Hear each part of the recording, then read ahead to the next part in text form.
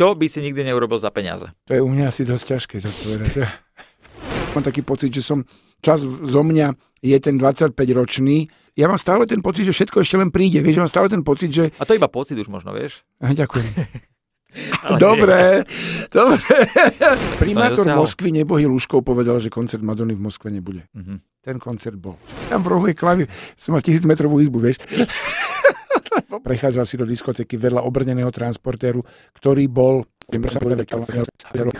vyšiel z Bratislavy, písal sa rok 1999. Toto som zažil. Jaro, Čo ty myslíš? nepieš ja... podľa mňa na, na, na party, lebo ty si pamätáš všetko. Toto ty sa si mi opísal normálne chodbu. Uh, mal som obdobie si v Prahe, taký prvý legendárny klub. Prahe, na ktorej ulici to bolo, prosím ťa? To bol klub B. Um, to nerob sa, že nevieš. To tak, úplne tak, tak, to mám, že keď mm. niekto je dlhšie v mori, tak si hovorím, a prečo to je tak dlho? tak som mal jeden tak, taký amok, takú zúrivosť v jednom momente pracovnú, nepochopiteľne pracovnú, že som si porozbíjal všetko, čo sa nachádzalo v mojej blízkosti svojim vlastným mobilným telefónom. Mm-hmm. Čaute, pokiaľ neviete, čo počúvate, počúvate štáciu Európa 2, Bekimovo horúce kreslo. Máme piatok, 13. hodinu a do mojho horúceho kresla si dnes sadol hudobný producent a scenarista a jeho meno je Jaro Slávik. Ďakujem za pozvanie, ahojte, piatok, 13. hodina. Jaro, nazdar. Uh, Beky, čau, ďakujem. Som veľmi rád, že Dlho si... sme sa nevideli, naposledy sme sa videli na stand-upe v Nitre pred e, koronakrízou. To si pamätáš? Ja si to pamätám, áno, lebo, lebo, lebo tam bola navštívi najznámejšia slovenská pornoherečka s nami. Ja, ja som... Pati, pamätáš? Ja, áno, áno, ja si to pamätám. Ja sa tiež pamätám. Ja, ja, ja sa, áno. Auto známe vety, vidím Slavika, som rád, že sedím na kresle priputaný. Áno, vtedy som to povedal. A ja som a... ti odpovedal, že a čím si to povedal? Ja som inak, ja som... ja som inak strašne cenil, že ja som si to vtedy nevšimol a ja som mal nejaký vtip v tej dobe a bol si v tom vtipe zakomponovaný a mne sa páčila tvoja reakcia a že si sa ťa to absolútne nedotklo. Tak nemôže sa ťa dotknúť niečo, čo je objektívna pravda. Ako objektívna mm. pravda je, urobil som blbosti v živote. Jasné. Ne, nemôžem používať to slovo na k. E, kulifajstva. Koniny. Koniny. A, a nemôžem sa teraz tváriť, že keď sa viem tváriť, že to není, tak akože vieš, že pff, to není. Ale všimol som Keď si... si blbý, tak si blbý a mal by si o tom vedieť. Jasné, akože e, mne sa, to, mne sa to ľúbilo, že si sa k tomu tak postavil celkovo, ale už keď sme pri tej téme, ja som to nejak nechcel rozoberať, ale načli sme to, že teraz ste mali v Československom a talent nejakého typka, nie? No, no. A ten tam hovoril, že... Áno, či ešte točím. Vieš čo, akože ono to je, ja som potom tomu typkovi, však e, asi neprezradím veľa, že on sa nedostal potom ďalej cez veľký tresk, že keď chceš robiť humor, ten humor musí ísť cez čiaru, lebo žiadna čiara neexistuje. Vieš, to musí byť tak, akože musí byť ten, ten humor tvrdo tvrdý a nemôže byť očakávaný. Akože presne, tam, tam presne. som pýtal Litmusa, či ešte chodí s darou. Hej. Akože, Ježiši, to je také akože základná škola, snažíme, skúšame to. Ten, ten humor musí byť, musí byť jednoznačne tvrdší a dobrý tvrdý humor ja ocením samozrejme. Len problém je... Aby nebol predvídaný, jak vieš, to, to, to sa dal, a problém je, aj ty si dobrý humorista a tiež sa pokúsiš o humor, ale tým, že mám výhodu zo pár stoviek tisícov alebo zo pár tisícov kníh prečítaných a scenaristiky a, a kultúrneho backgroundu, takže mnoho z tých náražok sa môže vrátiť naspäť, vieš. Určite, určite. Čo, čo nikto nechce. No, veď toto. Ale ja som inak rád, že si aj povedal, že humor v podstate nemá hranice, lebo však kto tie hranice? Nie, nie, nemá, nemá, nemá. Určuje, nemá. O, o všetkom sa má robiť sranda. To je taká tá nekonečná diskusia, ktorú samozrejme určite chalani ako Joe Trendy, e, Ivo Ladežinský, e, Mišo Satmári a Ricky Gervais mm. vo svete riešia, čo je humor, kam sa už môže ísť, kde sa nemôže ísť. Z čoho sa môže robiť sranda, z čoho sa nemôže robiť sranda. Teoreticky sa sranda môže robiť zo všetkého. Otázne je, či by som si napríklad robil tu a teraz srandu z britskej kráľovne, lebo teraz, keď si budem robiť tú srandu z britskej kráľovne, keď je mŕtva, mm. znamená, že sa priživujem na jej hype a využívam iba všeobecnú znalosť, že niektorí ľudia, teraz si uvedomili, že Británia mala kráľovnu. Keď by som však mal gule, tak by som robil si srandu z britskej kráľovne vtedy, keď bola spolu s Thatcherovou silné dô v 80 rokoch, alebo ako Sex Pistols v 70 rokoch. Hej, Vieš, hej. Vtedy, to, vtedy to malo zmysel, lebo si robí srandu z niekoho, kto reálne môže prísť a dať po hube a posadiť 10 rokov Jasné. Na, na miesto, kde sa nesprchuješ každý deň. Je to, je, je to, kde sa bojíš zohnúť. Je to akože... Jak to? Je, je, Áno, presne tak, ako kto. Dobre, Jaro, ja som veľmi rád, že máme to, takýto krásny vstup za nami. Uh, mám 10 otázok pre teba prichystaných. E, prvá otázka je ako a mňa by zaujímalo, ako by malo vyzerať podľa teba ideálne rande. To je otázka uh, o tých dvoch. Jak sú nastavení oni dva? Poďme na teba. Poďme na teba, že ty, alebo keď si bol mladší. Ja o svojej súkromí nehovorím. Nehovoríš, Nehovorím. ale dobre, ale takto. Môžeme sa baviť abstraktne, že ako by to Dobre. malo vyzerať ideálne Dohodnutý. rande. Ideálne rande, e, dajme tomu, že, že obidva sú fanúšikovia Cure a zároveň majú sklony k sadomaso, tak si myslím, že by sa mohli stretnúť niekde v čiernej miestnosti a cigaretovými ohorkami navzájom spoznávať svoje intimné miesta. Je to Inak, áno, presne takto, Každý presne. je Mhm. úplne iný. Áno. A niekomu vyhovuje rýchlejšie tempo, inému vyhovuje pomalšie tempo. Pravda je taká, že muži sú, dajme tomu, ako Ríša Satmari to krásne povedal, že ako, ako automatická prevodovka dopredu, dozadu, že tam vlastne veľa toho není. A kdežto ženy, kde sú také zložitejšie organizmy, niečo ako kvantový počítač. Takže, takže asi by sa mal prispôsobovať ten jednoduchší tomu zložitejšiemu. Inak je, to, je to, inak je to nuda, vieš. Že keď stretnem blbý a, a, a menej blbý, tak by sa mal snažiť ten, ten blbší tomu menej blbému prispôsobiť, lebo niečo sa môže naučiť po ceste. Odpoveď na moju otázku je, musí to byť empatické a musí sa snažiť ten, ktorý vie, že sa má snažiť. Určite. Ja som stále na tom, na tom začiatku a predstavujem si, jak mi nejaká baba ohorkami páli varlata. Uh, a keby som sa opýtal na... Počúvaš Cure? Uh, vieš, čo niekedy mi to tam zahraje. Alebo, alebo Nitzer App? Nie, ale mám doma čiernu miestnosť. Máš čiernu miestnosť. Mm. Si... Ani nevie, čo tam je, čo neupratuješ. Nevidíš tam. však, toto, však toto. A keby som sa ťa opýtal, že ako si predstavuješ svoju starobu, na to by si mal odpoveď? Či by si Ježiši. chcel byť, dajme tomu, že na Slovensku, alebo niekde si to vieš predstaviť pri mori. Uh, Ja som mal také, samozrejme, každý mal také obdobie, že, že, že nechcel zostarnúť a, a pomaly sa dostávam nejak e, do toho veku. Vieš, ako najprv som prežil 28 rok života, potom 33 rok života a hovorím si, tak už teraz by bola hamba zomrieť a už teraz treba akože žiť dlho. Ale nemám v tom jasnú predstavu. Ne, e, nemám, nemám v tom jasnú predstavu.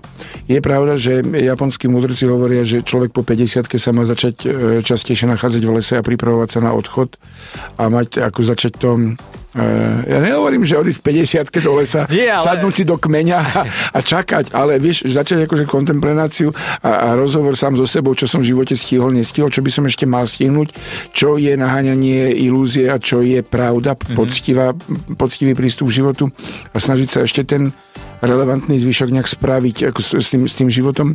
K tomuto samozrejme inklinujem tým, že sa v tom lese nachádzam často, keďže žijem pri Lužnom lese, v Lužnom lesi.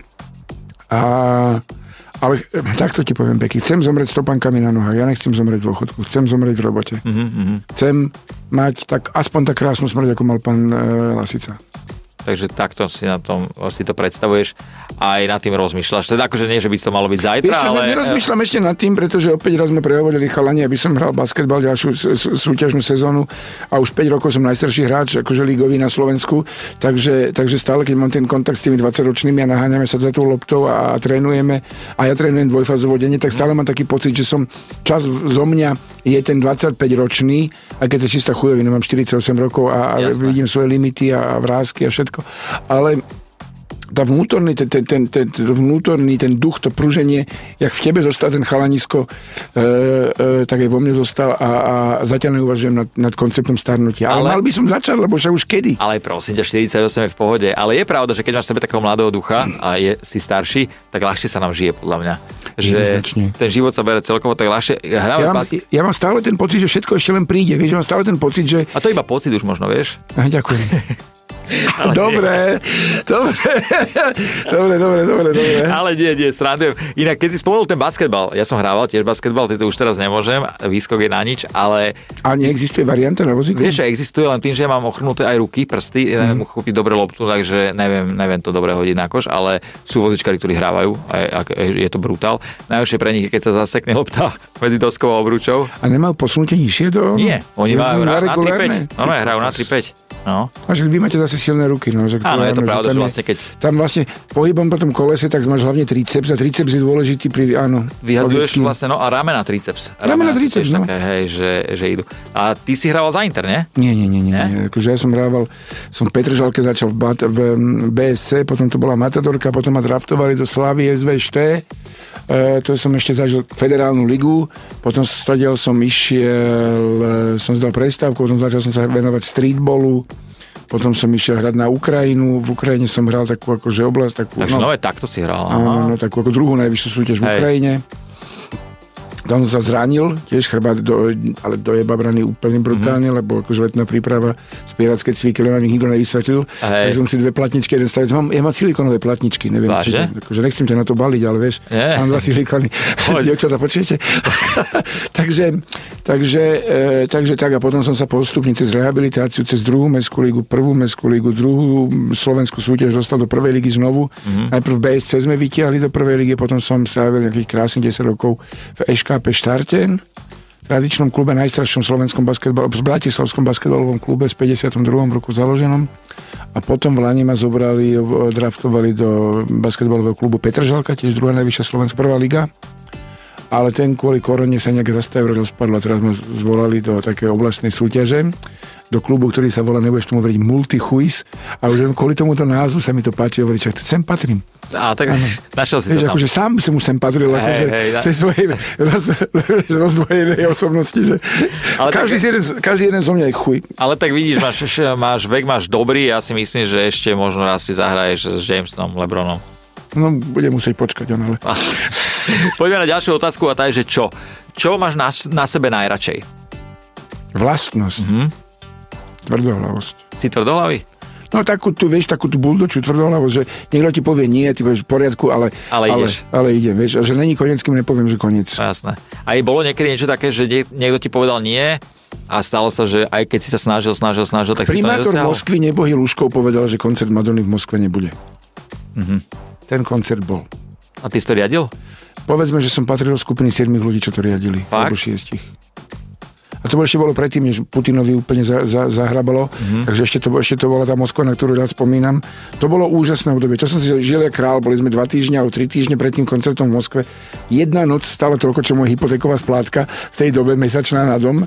A, a po týždni prišiel ku mne kolega a hovorí, ty máš na čo máš v izbe k- k- koncertný krídlo, klavír. A hovorím, kde? Však tam v rohu je klavír. Som mal tisíc metrovú izbu, vieš.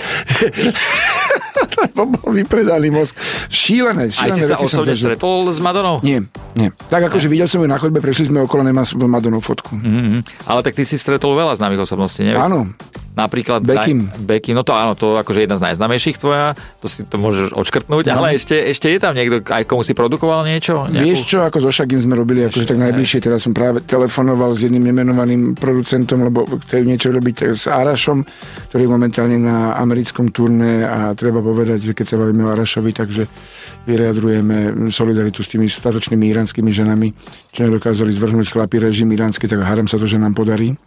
To je very brave. Uh, robil som veci s Basehunterom napríklad, ktorý, ktorý drží rekord v eh, počte. Je to druhý najúspešnejší švéd na čele britskej hitparády, pretože jeho pesnička uh, bola 7 týždňov, iba ABBA bola dlhšie, bola 8 týždňov jedna pesnička. Eurovízu sme vyhrali s Ruslanou, s Verkou Serdiuškou sme boli na druhom mieste, tuším Maria Šerifovič tam bola víťazka. Želko Joksimovič bol na druhom mieste, z Dobšizdu boli, Araš Ajsa bol na treťom mieste. No asi obnovím Akože- hudobnú kariéru, nech som aj ja už tam niekde. Ja už som Jasmine hovoril, že nech sa znovu chytí saxofónu, že niečo s tým spravíme, že auto tým A čo ti na to odpovedala? Povedala, či to musí byť, ale povedala, že chce vyhrať Eurovíziu, takže nemá možnosť inú. Ja Ja, Jasmina, myslím- už cvičíš, Uh, a ja si myslím, že keby som sa k Jasmine pridal ja, ako Mm, máš- spev. kamaráď. Mm. Jedno oko neostane suché. Dostali sme podľa mňa... Jedno ucho dostali, neostane nehluché. asi sme dostali vzúčiaka rýchlo u vás. Nie, v Eurovízii sa to nedáva. Nie? Tam je to... Musíš byť trošku gay. Až sa to zoberie Jasmina na seba, ne? Ďakujem ti veľmi pekne, Jasminka, pozdravujeme ťa touto cestou. Poďme na ďalšiu otázočku, tá je, že kde? Kde si zažil najbizarnejšiu situáciu, čo sa týka showbiznisu? To ti poviem úplne presne. To bolo uh, Brandenburská brána, súkromný koncert U2 uh, v Berlíne pod Brandenburskou bránou, kde keď hrali pesničku eh, Sunday Bloody Sunday, pozvali si uh, z New Yorku kamaráta Jay-Zho a dali mashup Sunday Bloody Sunday uh, 99 Problems. Sa rozplakal. Hej? Boli sme tam 300 alebo 400 ľudí, že sme to videli. Není z toho televízny záznam. A ty vidíš U2 mashup s Jay-Zim. Prepač, akože vieš, ja, som, Akože ja som byť- ročník 74, pre mňa sú toto veľké mená, ja No nepoznám veď- tých mladých mumbling rapperov a... a Akože taký a Jay-Z, takýchto- Jay-Z ho poznám aj ja, to je, to je, a YouTube poznám aj ja, to je akože brutál. Takže pre 300, pre 400... Dobre robíš v rádiu potom, Že? že? Však Vieš, keď poznáš YouTube a Jay-Z ho vybavená. Ešte niekoho? Viac nemusí. Vieš, ešte Vaša Patedla a Jadranku. Stačí. Ale my, že? Ja Jadranku nehrávate často, tak vaša. Vieš, Jadranka teraz sa práve, že... Chytila sa? Hm, začala Kvôli sa počasiu, no. Vieš, že začalo to jadran. troška, dobre, dobre. Teraz má naspievanú s Kendrickom Lamarom pesničku novú. Kendrick bude 10.10. v Prahe. Nebude. Vážne? Mhm. No tak do, a vieš vybaviť listky? Áno, dajú sa kúpiť ešte svoj, ešte tak nejaký akože surprise koncert. Jaro, vybaviť. Jak, jak vy... Ja, však povedz Jadranka, nech zavolá Kendrickovi. Dobre, skúsim to vybaviť. Takže takto si mal koncert Áno. súkromný pre 300-400 ľudí ste tam boli. Bol tam YouTube a Jay-Z, hej? Áno, áno. A týchto súkromných vecí, akože tak človek má viacej. Videl som Red Hot Chili Peppers v Schöne Aussichten v Hamburgu, čo je taký stan pre nejakých 400 ľudí. Tam sa oznámil s klíčkovcami obidvoma. Ja som si myslel, že som veľký chlapok, ale neprišli klíčkovci. To musí byť hrozná hora To je, masa, kokos, to je strašné. A. To je strašné. Má ramena veľké ako moja hlava. Od neho sa o rukách. dostať na hlavu. Nikto od nechce dostať od neho na hlavu, podľa mňa, lebo však to je, to je strašne. No a ten Anthony Kiedis, tak ten bol úplne ako také akože mi- mini hym vedľa neho, vieš, taký Mhm. Taký od... a panáček, no, no, no. poďme, poďme na ďalšiu otázku. Jamesa Blanta, prvý koncert. E, prvý, jeden z prvých medzinárodných koncertov Jamesa Blanta som zažil. 30 ľudí tam bolo v Berlíne. na 30 tom. ľudí? 30 ľudí. A čo si úplne A vážim, to preto tam bolo 30 ľudí, lebo ho nikto nepoznal? nikto alebo- nepoznal. Mhm. Že to bola úplne novinka. To bolo A ty si tam išiel-. Ja som bol zamestnanec firmy, tak akože nám povedali, že tu na bude taký jeden, čo sme ho podpísali, taký bývalý kapitáň, kapitán Korkorán a jeho veselé pesničky Beautiful. A, a čo ešte bolo také zaujímavé, keď som videl prvý, prvý koncert ever skupiny Piatnica e, v Kieve, pretože Piatnica je z Charkova. Mhm. A to bol masaker. To bolo v klube Promzona, čo bol taký akože bizarný, surreálny zážitok, ťažko opísať, bývalá fabrika, dvojposchodová diskotéka na spodnom poschodí, boli go-karts, na vrchnom poschodí boli 4 stage, prechádzal si do diskotéky vedľa obrneného transportéru, ktorý bol ktorý bol akože miesto pre sbs a v samotnom priestore diskotéky boli odstavené 4 nákladiaky, ktoré kabína sa používala na e, chránený alebo nechránený Píp X a boli tam dva trolejbusy, kde na vrche tých trolejbusov ľudia tancovali rave. Toto bolo v jednej diskotéke. Ja som vyšiel z Bratislavy, písal sa rok 1999. Toto som zažil. Jaro, Čo ty myslíš? nepiješ Ja- podľa mňa na, na, Čo? na party, lebo ty si pamätáš všetko. No toto akože si to sa nedá zabudnúť. To Vieš čo, tak, toto ty sa si mi nedá... opísal normálne chodbu. Kade sa ide doprava, Áno. doľava, všetko. No, no. Vieš, ja mám pár koncertov za sebou, ale iba fotky. Aha. A ty všetko vieš. Tomu hovorí, to som sa naučil v, na tej Ukrajine, tomu hovorili žízň para skazu druziej. Život, to rozpráva, znamená? život rozprávanie priateľov. A, a, a dobre, a keď sme pri tom alkohole, tak e, vieš si, vieš sa takže troška zabaviť, alebo... Mám rád víno, mám rád pivo v lete. Mhm. Uh, nemám úplne, nie som úplne koktejlový typ.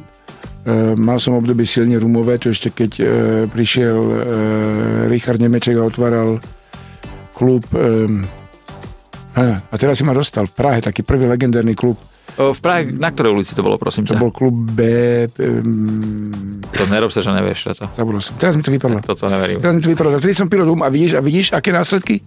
Vypadlo. Takže ľudia... Takže ja akože k alkoholu mám taký normálne slovenský bratislavský vzťah, že, Mhm. že áno a keby bolo lepšie, že nie, lebo mám rád také tie jeden, dva mesiace v roku sa snažím úplne akože ísť na čistom Jasné. a to je brutálny pocit, to je nádherné. Ten problém je, že ten prvý deň, vieš, ako nakopnúť sa. Dnes začnem, dám si či- čistotu a vždy niečo, vieš, niekto zazvoní, alebo, mm, alebo burčiak, alebo čokoľvek, že ťažko sa to štartuje, ale dnes má byť ten deň. A som si povedal, že chcem takých 50 dní, teraz si do takých čistejších. To je strašne dobre. Stávaš krásne vyspatý. No. Však toto, E, že Všetko ráno- je úplne inak. Kamarát to tak opísal, že prestane na tebou byť ten mrak.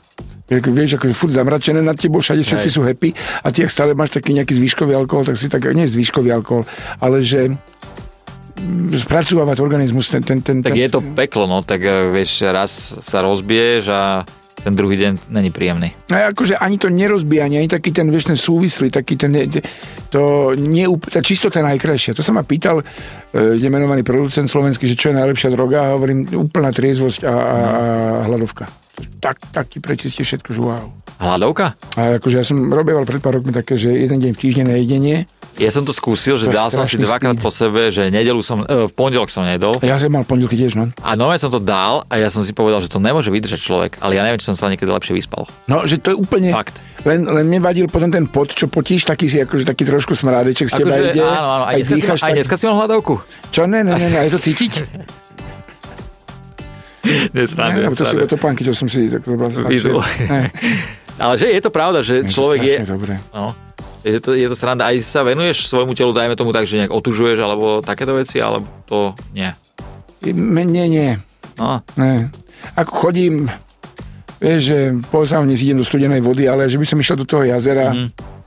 Tak ono veľa ľudí, ľudí to robí iba kvôli tomu, aby sa odfotilo, dalo na Instagram, možno 50%. Ja neviem, či to ľudia si uvedomujú, ale ryby tam čúrajú. Ja do jazera nechodím ani plávať, vieš. Nech toto je pravda. Toto A, je a nielen čúrajú som počul, že nechodia Ďakujem, že ani... si mi toto pripomenul. Dnes neotužujem. Poďme Ja tam chodím okolo toho jazera, že tam bývam vedľa jedného druhého Rusovského jazera, ako vedľa Čunovských jazier kúsok. Áno, sú tam všetci tí ľudia, také, akože, také dubáčiky v zime s tými onými čiapočkami sa tam, vieš, a je, je mi to hrozne aj sympatické, je to akože cool a sexy. Ale nejak mám k tomu jazeru taký ten, že viem, že tam že špaky a rybári a ryby a všakovaký organický odpad a nevidím tam dno a ja som taký, ako nejsem úplne ultrahygienický, však Slovák, ale toto mi vadí, vieš, že Ale do bazéna by si vliezol so ja, vodou. ja do bazéna, áno, jasné, Hej. jasné, jasné. A ja som inak tiež ten typ človeka, že ja keď sme na dovolenke, tak ja ani moc do mora nechodím. Ja raz, aby sa nepovedalo a potom už iba bazénik. Toto To mi ja. stačí, Toto to mám ja. A ja mori a hľadám tam, keď ja sa saune hovorím, no, tak to nikto nespláchol. To je, vieš, akože, to, čo je v mojej hlave, akože to je zvláštne. Tak ideš okolo toho, to je paleta, tu je hovno, tu No, sa niekto no tak, vyšťal. tak, tak, tak, Hej. tak, tak, tak, tak, tak.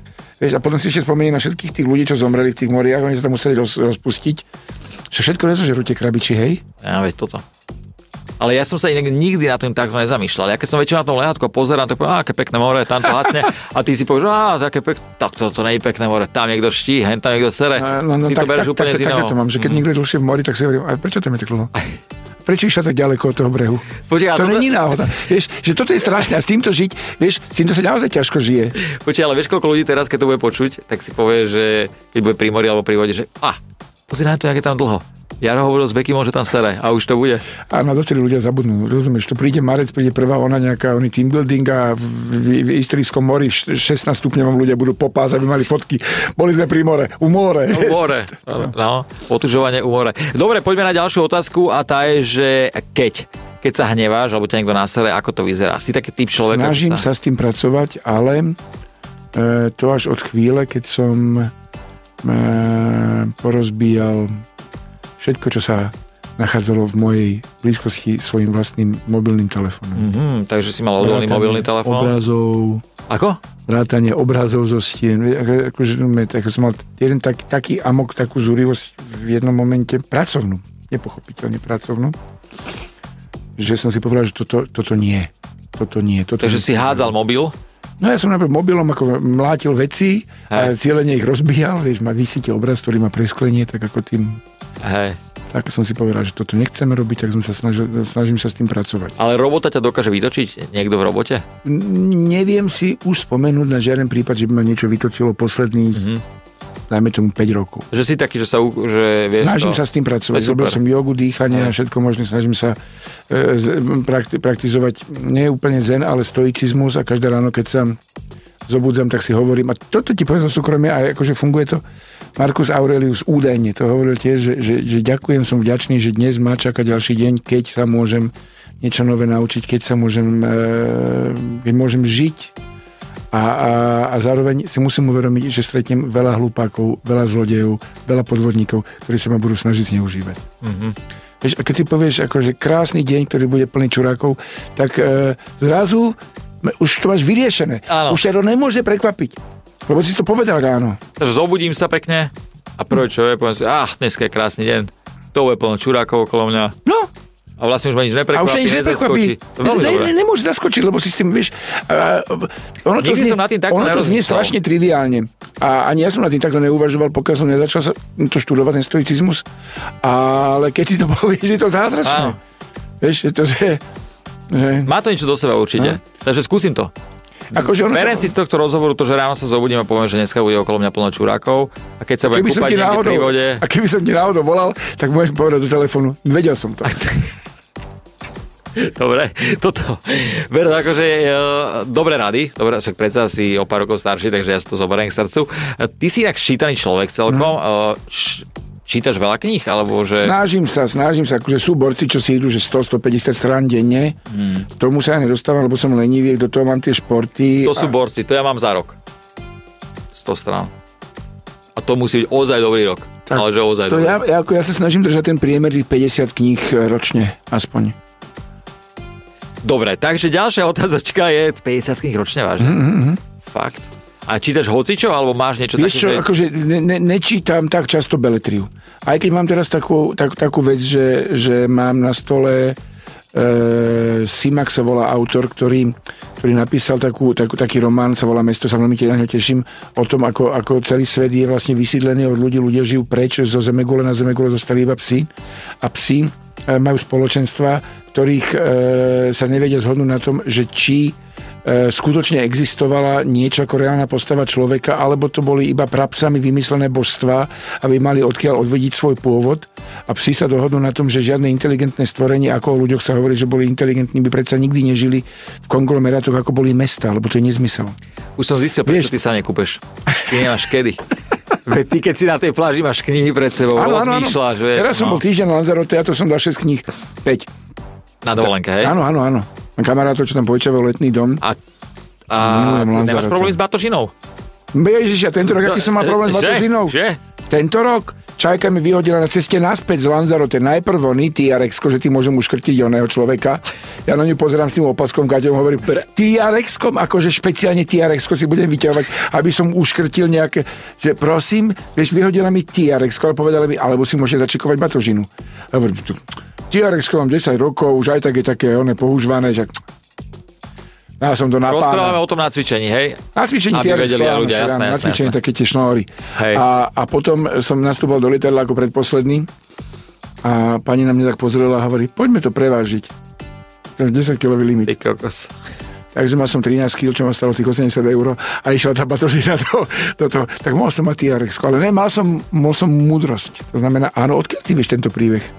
Čože? Odkiaľ ty vieš tento príbeh, že mám problémy s batožinou? No mňa to napadlo iba kvôli tomu, že asi si berieš veľa kníh, Neberiem. nie? Ne, ne, ne. A to, že máš problém, vidíš, ja som dobre som dal, kamaráti majú, to, čo mi požičiavajú ten letný dom, e, majú brutálnu knižnicu. Mm. Tiež knihomoli taký, takže, Hej. takže ja sa vždy teším, že keď idem k ním, tak sa tam e, hrozne veľa načítam toho. Takže zoberieš si TRX pekne, No, zacvičíš. musím si kúpiť nejaké. Keby ste predávali? TRX alebo keby Ja ste... ti vybavím. Ja ti vybavím, na Lanzarote vyšiť. vyhadzujú TRX. E, Keď si už ináč pri tej dovolenke a pri tých dovolenkách, tak taká tvoja obľúbená destinácia? Dobrá otázka. Tak, nenadarmo robím v Európe, vieš, to proste dlho hľadali, dlho a našli. Teraz to je aké rádio. To sa mi zdá, že v Európe sme, ne? Či? Sme, nie? Európa, Európa. Dobre, tak sme dobre. Ešte len príde, verím tomu, že ešte len príde, vieš, Mhm. mm. že opakovane sa vraciam na Lanzarote, mm-hmm. lebo to mám rád, ako kvôli tomu, to mám, Aj, tam, rád, aj tá knižnica. mám rád ostrovy ako tak. Hej. Ale stále neviem, akože, že, že čo, vieš, v Ameriku milujem a rovnako som rád, že pred pár rokmi sme stihol som rodinu zobrať tzv. akože dáciu starú, čo sú, čo sú no nie auto, ale kde, kde boli dákovia, to Ja znamená som sa zamýšľal na od, to, že... od Kišiňova cez Pridnestrovie po Odesu. Mm-hmm. To bolo územie obsadené pôvodne Grékmi a, a teraz je tam Moldavsko, Pridnestiersko a Južná Ukrajina čo už tam akože boli znaky vo- vojny, také rôzne kontrol posty, už to bolo dosť také tav, ale že sme toto stihli a tam ide bývalý minister. Asi niekoho učesať, alebo čo? Aha. Bol nasratý inak. Čo? Bol nasratý. Prečo? Ide robiť poriadky určite. Myslíš tu? Mm. Mm. On chodí tak na terasu a kričí. Á, takže tiež by som mu knižkov stojíci sme mohol požičať. Takže, e, takže nemám ja... Ty povedz o svojej dovolenke, kde, kde máš ty, aby som sa inšpiroval. Vieš čo, o, mne sa páči Amerika hlavne kvôli tomu, že to je extrémne bezbariérové. Ja musím na to pozerať, vieš, Aha, že áno, áno. naozaj to je brutál. To akože nemám žiadny problém. A East Coast alebo West Coast? Ja som bol Kalifornia. Kalifornia, no. To, to sa mi tam ľúbi. San Diego bolo veľmi pekné. Uh, ale Tajsko. Tajsku som ešte nebol. Nebol si? V celej juhovýchodnej Ázie som dal iba Indonéziu, mm-hmm. Bali a Lombok a to bola láska úplne som sa, akože Bali som sa zamiloval, lebo som nebol v Denpasare v hlavnom meste, ja, som bol v Ubude v, ja v džungli. Ja som bol aj Lombok, aj na Bali sme boli, Lombok je... ale zase, vieš, mňa to, ja som mal strašne všetko stiažené. Tým, Ježiš, že- ty si tam vlastne vieš, nedostaneš, lebo to ako No. ja, čo chodím, som mal problém cez ten piesok tam sa pre, Presne, pre, presne. prehrabávať, hej. Ale pekné, pekné. Som rád, že som to odškrkol a cestovanie ma baví, takže... takže dobre. Cestovanie najviac, akože každá koruna, čo je dobre, koruna, každé euro, ktoré sa do, do, minie na cestovanie, investovanie Hej, vlastne. hej, hej. Ale nemyslím teraz akože Turecko, all inclusive, alebo Atlantis v Dubaji, to není cestovanie, keď Toto náhodou ma nehovor počúvajte. nahlas, lebo teraz, keď to budem počuť moja mama, ona miluje Turecko a Egypt. Nikam inám nejde. A hovorí, mami, ale ty ani necestuješ. Ja necestujem. Není, není. Není, keď, jasné. keď, keď, keď cestovanie, tak, tak čo v Turecku je možno Bo- Bodrum, treba vidieť, ale hlavne Istanbul. V Istambule, Ježiši, sme zažili fantastickú vec. Z Garbage, keď sme robili turné, to sme boli ubytovaní v, v, v hoteli Perapale, ktorý patril akože... To bol posledný Ja si otomanský... strašne idem, jak ty začneš rozprávať a ty to dopodrobná normálne celé rozpovieš. Poďme ďalej. A- Perapale? A, a bolo to nádherné, lebo lebo to je hotel, ktorý patril akože k lístku na Orient Express. Ty si tam prespal. A dali mi izbu, takú akože izbu. Samozrejme, ja najprv som stratil batožinu, lebo čest turecká aerolíny mi stratili batožinu, tak som prišiel tričku, kde už bola večera firemná, ktorú som ja platil a to, to sa volá Bar and Grill v Bospor, reštaurácia. Fakt, ako nájdeš na internete, to breštik. Zaklopal som tam, že dobrý deň, že ja som tu, no, že Slavik z Warneru, že ja tu no, máme, ono, večer organizujem. Určite nie, pane. A zavreli mi pred nosom. Tak som znovu zaklopal, že som bol tričko a trenky, vieš? Hej. Také síce lepšie, ale stále tričko trenky. Oni boli v smokingoch. Jasné. Tí čašníci. Dobrý deň, že ja by som to tu mal zaplatiť, pane. Asi nie, ste sa pomýlili do videnia. Tretíka som zaklopal, že tu je Garbič a moji kolegovia, Ješil Girešunlu, môj kolega tu je, tu sedie, ja mám kreditnú kartu. Je to možné, ale nemyslím, že ste očakávali. to trikrát až som poprosil, aby som zavolal, lebo mobil už mi zdochol, tak som tak nakoniec. No ale dostali sme sa že na ubytovanie tu, pán Slavik, máte super izbu, krásne, taký ten klietkový výťah. Odviezol na prvé poschodie, zobral som sa o 3 ráno. V izbe asi 150 stupňov klímu nemôžem nájsť. Pozerám sa, vie všetko také, také ošarpané, ošarpané, ale také nejaké zvláštne, zašle, staré, ani moderné zariadenie nebolo. Ráno prídem na tú recepciu, hovorím, že není tam klíma, ani že klíma je všade poznám klímu, taká veľká krabica, k tomu je taká malá krabička, robí to bzz, robí to zimu, že to tam určite není. No určite nie, ako sa voláte. Povedal som meno, všetko, že mne neprišla batožina a nevyzerám takto akože biedne ako v tejto chvíli, keď sa sťažujem. A že, jež vy máte apartmán Agaty Christy, lebo to je apartmán, ktoré sme ponechali v stave, keď tu naposledy pani Christy bola v 30. nejakom, neviem koľko Ale každá izba bola taká, že keď tam nejaká slávna osobnosť bola, tak ju tak pomenovali. Tak mi dali akože, ako veľký honor apartman uh, Agaty Christy. Ale špiny americké nevymysleli klimatizáciu v čase posledného pobytu Agaty Christy. A keď si odišiel, tak je tam teraz po tebe pomenovaný ten apartmán? Nie, nie, nie, potom som išiel do apartmanu Eduard III, eh, 8. A tam už bola klíma? Tam už bola, tam už Takže bola. To bol ten, čo Edo. abdikoval, ten krát, čo abdikoval. Takže Edo už mal klimatizáciu. Edu už mal klimatizáciu, lebo mal americkú manželku. Vidíš? Chladili. Uh, otázka čo? Čo by si... Bývalý minister ma práve pozdravil.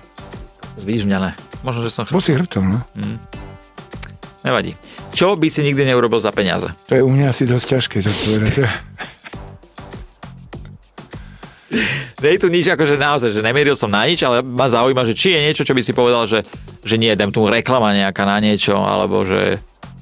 Asi by som nešiel, ono to bude znieť zvláštne, ale nešiel, nešiel by som za peniaze do reklamy na, na nejaký scam, čomu, čomu neverím. Neviem, čo by som nespravil za peniaze. Určite veci, s ktorými nie som vnútorne stotožnený. Určite. Že keď, keď viem, že toto nie, tak to asi nie. Hej. Rozumiem. Tak ale že je, asi, je niečo, čo by... určite sú veci, čo nie, že, že asi by som nešiel za peniaze podporovať žiadneho politika. Asi by som nešiel za peniaze podporovať alkohol. Vieš, určite ne tabakové výrobky.